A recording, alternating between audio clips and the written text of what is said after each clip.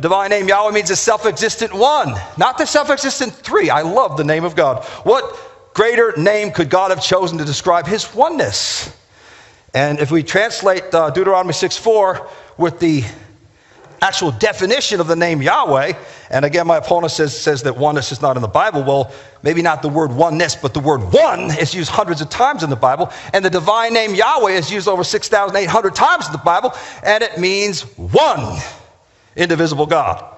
Here, obviously, the self existent one, your God is one self existent one. That's the actual literal rendering of the Hebrew.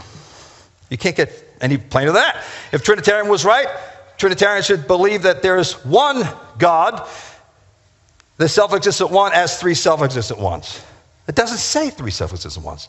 You'll never find the word persons or names plurally or spirits plurally or lords plurally in Scripture. There's a reason why God didn't do that because He's one God. Isaiah 57 15, thus says the high and lofty one who inhabits eternity. Isaiah 12 6, great is the Holy One of Israel in the midst of you. Never the Holy Three, it's always the Holy One. So oneness is taught in the Bible many, many more times than threeness. Anytime there's threeness, just the manifestations of God because He's omnipresent. And I believe the word omnipresent is taught in Scripture. Do not I fill the heavens and the earth? Jeremiah 23 24. God fills the heavens and the earth, so obviously He's everywhere present, omnipresent. Psalm 99 1, Yahweh reigns. He sits between the cherubim, never they. Every time the prophet saw, it was always one God. And when God said, Let us make man, there's only one God. Who did they speak to? Who did God speak to? Well, Isaiah, Isaiah 61, uh, Isaiah 6 1, I should say, Isaiah said, Here am I, send me. He was speaking to the heavenly court. Even the NIV commentators say that he was speaking to the heavenly court. The Jews always taught that he was speaking to the heavenly court, and we'll get into that later. Greek scholars prove that Galatians 3.20 states that God is one individual person. Greek scholar by the name of Bracter says Galatians 3.20 is actually translated from the actual Greek, God is one person. Westward Pictures of the Greek New Testament translates Galatians 3.20, God is one individual. And the Amplified Bible brings out the shades of meaning of the Greek. The Amplified Bible says God is one person. You never find a translation that says God is three persons because the Catholic Church developed it. How would you like the United States government to say, we want unity among Christian churches? We're going to sit down and make a council of Nicaea. The Roman emperor convenes the council, takes all the bishops. I want unity in my empire. You guys are going to agree on something. How would you feel? That's what developed the doctrine of the Trinity. Tertullian, others that, that started Trinitarian ideas that wasn't fully developed till the Athanasius Creed in 4th and the 5th century. And we'll get to that later. So God is one person. The Bible never says that God is three persons. Proverbs 30, verse 6 says, Do not add unto his words, God's words, lest you be found a liar and he reprove you. Beloved, I feel allegiant to God's word. You can call me a heretic if you want because I don't use the word Trinity, three persons, because I can't do that because I am a loyal, allegiant follower of Christ. I can't add to the word of God to say something of God that he never said of himself. The Hebrews 1 3 says Jesus the brightness of his glory and the express image of his person. If you read Hebrews 1 1, it's talking about God the Father's person.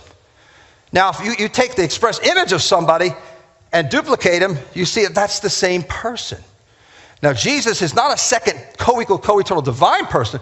Yes, his deity is as God, as the Word, as the Spirit of God, as the, as the deity of Christ, but he's not Never is the Bible say that he is a second divine person, but he's a separate human person when the fullness of time had come. So here we have the express image of his person. The biblical evidence supports the following facts. The Bible calls God only one divine individual person, never three persons, plurally. The apostles and prophets always spoke of Yahweh God as only one divine individual, never three. Whenever the prophets did see an image of God, it was a spiritual image of God, and they saw one divine person on the throne. So the conclusion here is those who say that God is three divine persons are adding to the Word of God. Next slide. Whoever desires to be saved, according to the Athanasius Creed. Now, I'm not making my proof of the oneness of God. All I'm pointing out is Protestant churches that have blindly followed the Catholic development of the doctrine of the Trinity. You can find in church history how it was developed. And it didn't happen overnight, it happened over a period of centuries. If you look at the writings of the fathers, they didn't have a developed, fully developed to the doctrine of the Trinity until the fourth century. Uh, here we have whoever desires to be saved must believe in the Catholic faith. And to make a long story short, this is abridged. The Catholic faith is this the Trinity is three divine persons. It says their persons, their essence. Notice the words their glory equal, their majesty co eternal. Can you find the word there just once in the Bible? It's always a he, it's a him. It's never a them and a there. Their persons, their glory equal, their majesty co eternal. Uh, and I don't believe the Son is eternal because the Bible says when the fullness of time had come, God sent forth his Son, made of a woman. He was made, literally in the Greek, ek, out of the woman, from the DNA of Mother Mary's egg, from the lineage of David, from the tribe of Judah. So Jesus is fulfilling the Hebrew prophecies, but yet God's Holy Spirit came in and did that incarnation. I don't have a problem with incarnation, it just means the, the supernatural embodiment of a divine being. And we believe that divine being is the one God Almighty, the Father, who manifested himself in flesh, 1 Timothy 3:16. So if you look at this, it says the Catholic faith is this uh, and uh, one cannot be saved without believing it firmly and faithfully. Now, the apostles never used such language. Are the apostles saved? I say to the audience tonight, if Peter and John were sitting in the front row, I wonder what side they'd be on. I wonder what churches they'd be welcomed at because they never preached that God has three persons. The Athanasian Creed does.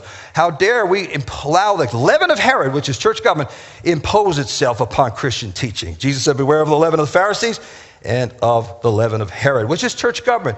And Herod uh, fired the priests, high priests at his will and appointed the ones he wanted.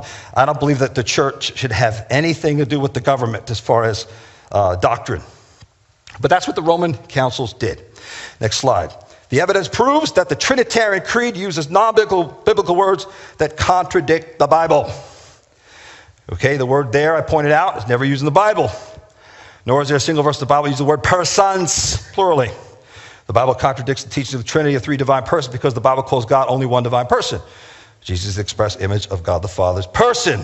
Galatians 3.20. In the Amplified Bible, God is one person. So the definition of the word person. Now, I looked this up. I looked at the Hebrew, I looked at Greek, I looked at er, dictionary definition. I find it over and over again. The definition for the word person means a human being, whether man, woman, or child, or an individual human being. So the definition of person means being. Then the definition of being, also a human being or a person. So fact is, the words being and person are the same. This mumbo jumbo, the Trinitarian, God is only one spirit. Can you have three persons without three spirits? How could God have three spirits? The Bible says in Ephesians 4 4, there's one Lord, one faith, one Spirit.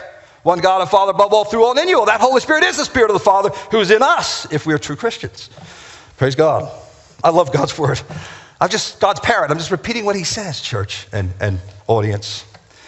So the Bible doesn't say this, and the counselors of Job were condemned because they didn't speak right concerning God as my servant Job has. So there is only one being, one person. God is a God person, one person, and He's indivisibly one. Conclusion of Trinitarian Catholic Creed is not logical, nor is it biblical. Next slide.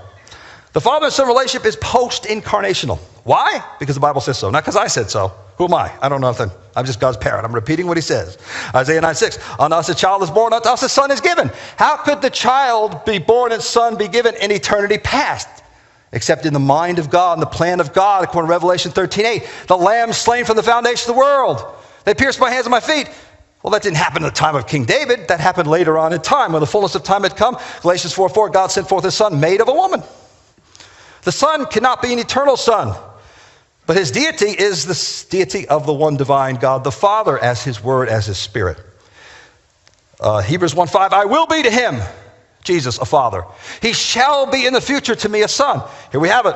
The father son relationship is not pre incarnational, but post incarnational. Psalm 2 7 Yahweh has said unto me, You are my son. This day, this day have I begotten you. What day? Luke 135 You will conceive in your womb and bring forth a son. That was the day that Jesus was begotten. That's when the person, the second person, came into existence as a man who was the express image of the invisible God. Now it goes on to say, the firstborn of all creation. Well, how could Jesus be the firstborn of all creation? In the mind of God. God calls those things as being not as though they were. He was the lamb slain before the foundation of God, of the world. 1 Peter 120 says that Jesus was truly foreknown. He was foreknown before the foundation of the world, but was manifest these last times for us. How can Jesus, as an eternal son, be foreknown before he was actually known? In other words, if the word foreknown means that he had to come into existence later as the Son. Thus a child is born unto us, a son is given. That was later, in the fullness of time. Ephesians 4 1, according as he has chosen us in him before the foundation of the world. I ask this question. If we are chosen, the God's elect are chosen him before the foundation of the world, and we didn't literally exist, so also Jesus was chosen.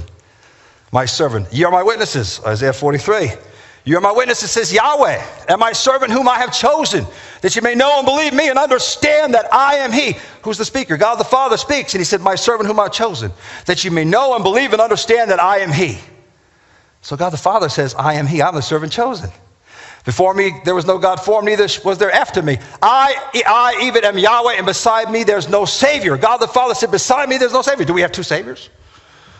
God plainly says it. And then Jesus said in John 8, He said, Unless you believe that I am He, a direct quote from Isaiah.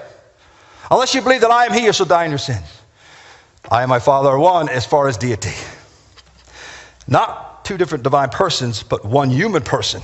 Now remember, Jesus prayed to the Father. So the audience said, well, Jesus prayed to the Father. You got one God praying to another God. No, Jesus didn't pray as God. God doesn't pray. God don't get tempted. But as a man, Jesus prayed. Because this is what we'd expect if he's fully a man. He couldn't be God praying to God. That's ridiculous. God doesn't pray to God. But as a man, Jesus prayed. But yet he who prayed was also God. Beloved, I can't explain all the details. Uh, God didn't give us the scientific data. But that's what the scriptures teach. When you put all the jigsaw puzzles of God's word together, that's the scriptural data. And I can't explain it all either. I don't think any of us can explain all the details. But this is what the word of the Lord says. Okay, next slide. Psalm 2 7. Yahweh has said unto me, You are my son this day. This day have I begotten you. Luke 131, Jesus was conceived. That's when he was begotten. That's when he came into existence.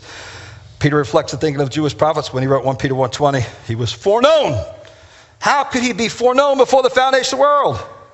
Greek scholar Dr. Duncan Heaster, who believes in oneness theology, by the way, found him online, explains the import of the Greek word prognosko, which literally means know, to know beforehand, to foreknow, as it pertains to 1 Peter 1:20. This is what he says. If God foreknew his son, the son was not literally existing next to him at the time of being foreknown. Otherwise, the language of foreknowing becomes meaningless. If words mean anything, Jesus could not have literally existed as an eternal son before he was foreknown. Revelation 4 uh, 8 says that he is the lamb slain before the foundation of the world. Now, we are to interpret these scriptures. How are we going to interpret it? The Bible speaks of Jesus being slain or killed before the foundation of the world. It speaks of him being begotten before creation. Romans 4:17, God calls those things which be not as though they were. We've got to think like God to understand the Bible. All scriptures speak of the Son, and the Hebrew scriptures are speaking of prophetic anticipation of the future glory, of the future child that will be born, the future son that will be given. Hebrews 1:5, I will be. Very plain. I will be to him a father. Not in eternity past, but when the fullness of time had come, God sent forth his son, made of a woman, made under the law. This is what the apostles and prophets taught. They were Jewish. They believed in one God, not three persons. The Catholic Church, we got into church history. I'm not proving that I can take quotes in church history and prove. That's that was very damning for the Trinitarian doctrine. I, I love church history. I read, read Ignatius, I read Clement. Many historians call them modalistic monarchians because they always make up the majority of believers believed in one God. Monarch meaning one ruler. Modalistic, operating, manifesting himself in different modes as the Word. Psalm 35 says, verse 3, uh, says very clearly that by the word of Yahweh were the heavens made, all the hosts them by the breath of his mouth. Jesus is the Word. The Word was with God. The Word became flesh. The Word was God. So you can't take another, the word of somebody and make a separate person, a divine person from him. Yes, Jesus in the fullness of time became another person as the man Christ Jesus, not the God Christ Jesus, but the man Christ Jesus. There's a distinction between the Father and Son. But notice my opponent hardly ever mentions the Holy Spirit. Jesus never prayed, Oh, heavenly Holy Spirit. Now, if that's true, if the three persons are co equal, co eternal, well, how come, boy, that, that Son, he really messed up because he didn't show proper love and respect to the third divine person? Think about it. And then, and then look at Malachi, look at Genesis. You never find three divine people sitting down talking together. You're misconstruing scriptures. You're adding to the word of God by saying, Elohim, let us make man. Moses was called an Elohim, God unto Pharaoh. Dagon was called Elohim, and he's a fish god, one divine entity. And you go on and on. The context of Scripture is what shows whether or not it's a singular or a plural intended. And I'll get into that later in my rebuttal if I have the chance. Okay, uh, where am I? I get excited about the Word of God. Hallelujah. Somebody tell me where I am. okay, okay, here I am. How are we? I think that's it. How are we to interpret these scriptures? Okay? I will be the father. Next slide, next slide. That's good. Yahweh God is one person, one spirit, personal being. He is never called three. John 4 24, God is a spirit. Never can you find spirits. He is a spirit. And they that worship him must worship him, not them, not there, in spirit and truth. Genesis 6 3, Yahweh said, My spirit shall not always strive with me. Because God says, My spirit, that doesn't make another person. If you're saying my spirit, my heart, you're not saying another person. You're trying to read into the word of God. Oh my God, one minute. Joel 2 27, I'll, I am Yahweh your God, none else. It's going to pass. After I'll pour out my spirit. The Holy Spirit is the Spirit of God the Father. Ephesians 4 4, there's one body, one spirit, one Lord, one faith, one baptism, one God and Father, above all, through all, and in you all. Genesis 1 27 says that we're made after the image of God. If we are, if God is three persons, then why don't we mirror the image of our Maker? We're only one person, so God must be one person. Whenever God speaks of himself anthropomorphically, he speaks of himself as one human person, the arm of Yahweh revealed. Next slide, 53 1. The arm of Yahweh revealed. Exodus 15 6. Thy right hand, O God, thy right hand, thy nostrils. It always says, thy right hand, not three sets of right hands. Ezekiel 38, 18, my fury will rise to come up in my face. God never speaks of himself as more than one face. Whenever God speaks anthropomorphically, attributing human attributes to God, it's always as one person, just like we're one person. We're made after the image of the invisible God. Praise God. God bless you all.